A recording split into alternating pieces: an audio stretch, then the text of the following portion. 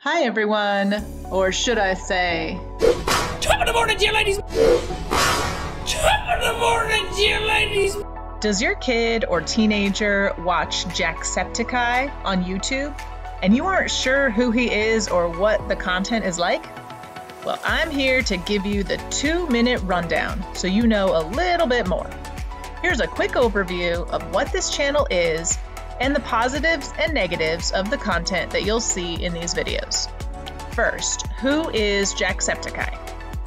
So, Jacksepticeye is a super popular Irish YouTuber with almost 30 million subscribers. He primarily publishes videos of his gameplay, as well as some other things like animated videos.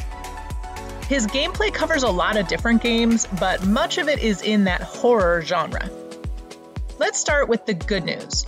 What's the best thing about this channel? Well, there's actually quite a bit to say here. Jacksepticeye is a really positive person who seems to really connect with young people and give them someone to look up to. He talks a lot about having a positive mental attitude and how to take steps to improve your lot in life. In addition to all these great messages, he also donates a ton to charity and isn't one of these successful YouTubers just flaunting all his money. So lots of good stuff here.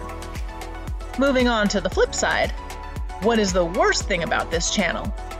Well, there is quite a bit of swearing in his videos. It's definitely not for little kids, but I mean, by the time you have teenagers, I think swearing might be one of the more minor things you have to worry about on the internet. The other thing that might concern you is the content of the games that are played.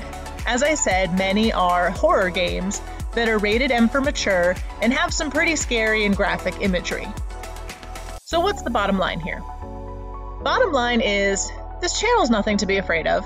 It's not the best for little kids because of the swearing and the inappropriate humor, but if your older kid wants to watch Jacksepticeye, they're probably going to get a lot more positives out of it than negatives.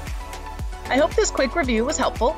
Don't forget to subscribe to see more reviews of what channels, shows, games, and more are okay for your kids. See you next time.